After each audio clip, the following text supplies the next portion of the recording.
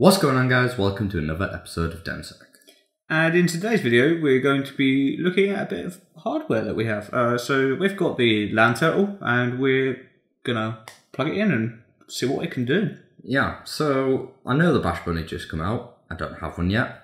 Um, I do want one, but the next best thing, it really does seem like it's the Land Turtle. Uh, obviously you can't emulate keyboard and stuff with it, but you can do a lot of the other cool stuff that you may want to do. So let's get to it. We've got one already plugged in with uh, through the Ethernet. So if we just plug it into the laptop, if I can find the hole. so we should get. Uh, if we go on to uh, devices, not devices, into where's the there. Ooh. And if we go here, and it just disappears. That's what we want, isn't it? There we go. And then we just need to set a the default IP for it. So it's one seven two. Look, look, Windows, please, not now. One seven two sixteen dot eighty four, and then we will give it a four. Uh, we can leave the default gateway, can't we? So if we press OK, and then what we need to do is open up your preference of SSH client. So we're just going to use uh, MOBA for this. So all we need to do is SSH and then root at the IP address. So it's uh, 172.16.84.1. and then we have the password of shells with a 3 instead of a E because leet, I assume. Uh, 3, oh, that was Z. Uh, yes. Enter in a new password. What should we put in? Um, I'm just going to do test for now because. If we go into config, uh, one of the things we uh, want to do first is just check for updates because I've had this for a little while and this is always good to check for updates with whatever we do. Oh, not doubt found. Will be erased. Control C. We'll just leave it. I won't touch it.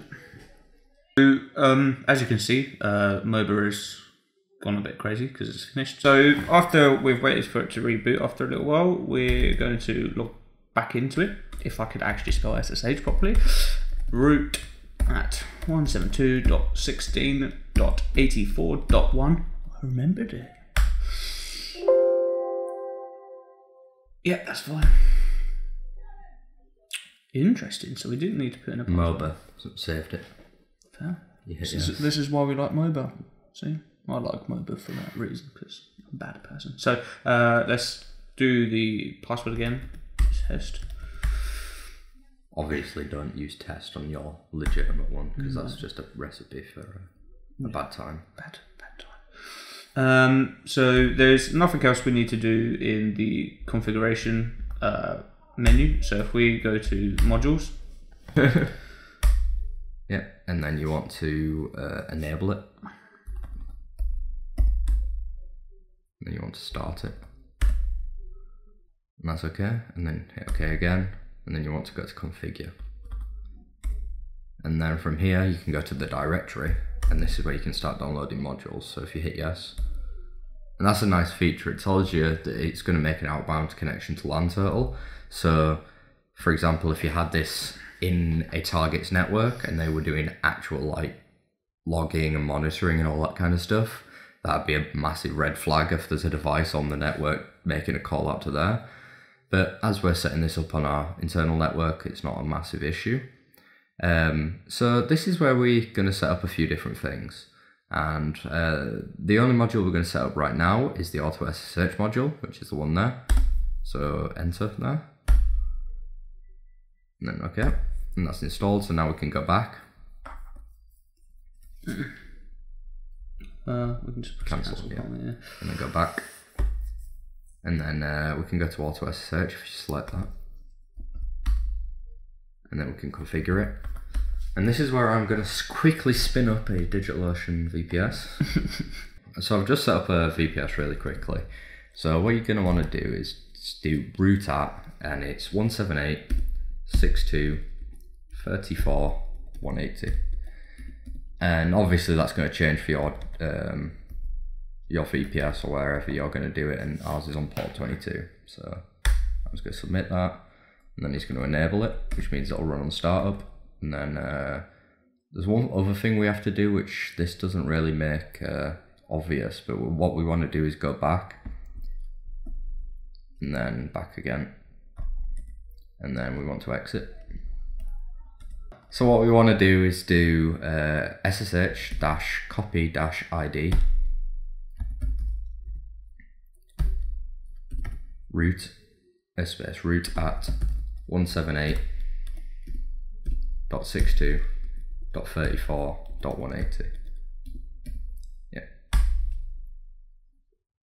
So apparently what we need to do is generate an SSH uh, key. So SSH dash keygen space dash I. Uh, no, sorry, dash T uh, space RSA.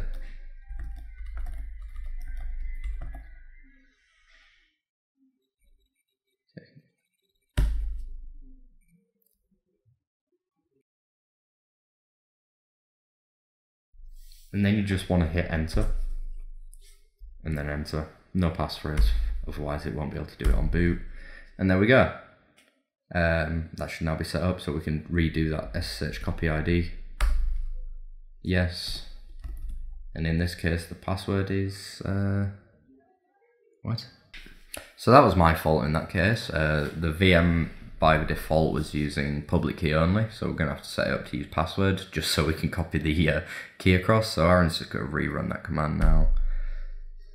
And in our case, the password is I like burps.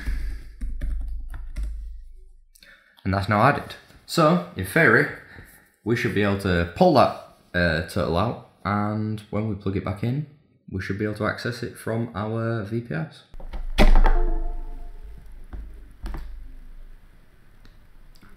Mm-hmm. So this is going to make out like we've just plugged it into a power bank um, and we've plugged it into some corporate ethernet.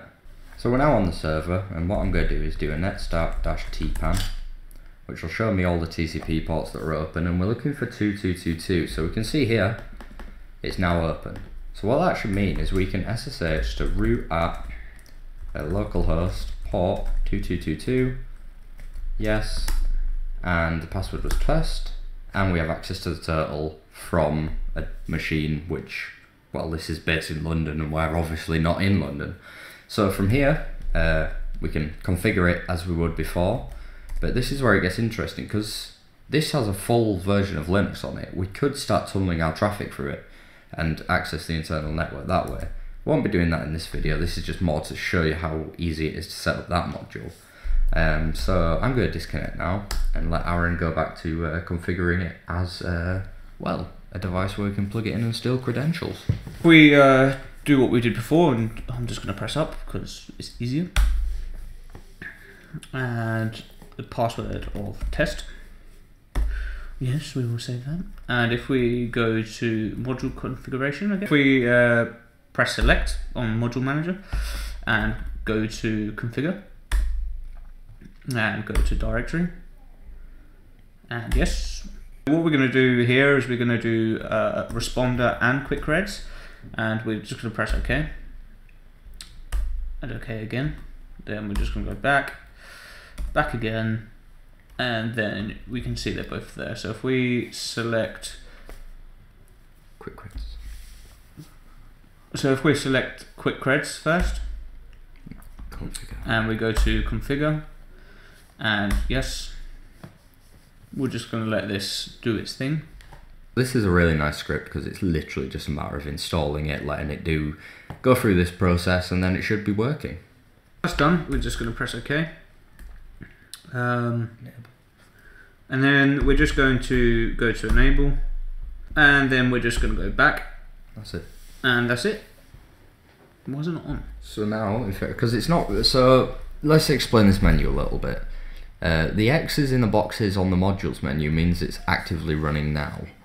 When you enable something, that means essentially make this run on boot. And uh, we've not rebooted it since we've installed QuickThreads and we've not started it and we don't really well we could make it run on Aaron's laptop but I'm sure he wouldn't appreciate that too much. So yeah now that's done we can unplug it and shove it into my laptop and hopefully it'll upset it. So right here we've got our locked Windows 10 Windows 10 machine. And um, what I'm going to do is it's uh, it's set up to automatically capture this USB device. So I'm going to plug it in. And what we're going to do is we're waiting for uh, the yellow light or the amber light start blinking. And it's just started blinking. And when it stops blinking when it goes solid that means we've managed to grab a credential. So that's just gone solid now. So that means we should have some credentials. So I'm going to hand this back to Aaron and uh, let's see what we've got. We've used Responder in the past and that's literally all this is using but it also has the added benefit of hosting a DHCP server, so when you plug it into the machine, it requests an IP, it gets given one, and then it tries to route its traffic through us. And when that happens, we're able to basically spoof any NetBIOS name it's looking for. And because our VM is on a domain, uh, luckily, uh, a lot of NetBIOS traffic happens, and as a result, a lot of SMB traffic. So what Responder's gone ahead and done is saved us now a, uh, a file which has the hash of the uh, logged in user, which uh, Aaron's going to show us how to get to now. So if we do a cd and loot, and if we go into uh, 6,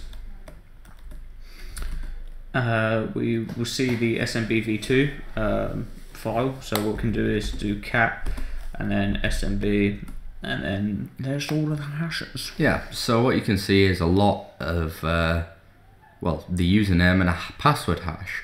Um, luckily, Responder puts these all in a uh, format where you can shove them straight into John. Uh, we're not going to do this in this case because the password was just password. um, but you could ha- easily just copy and paste that into John the Ripper and have a go at cracking them. And this is all from a locked machine, so it's pretty cool.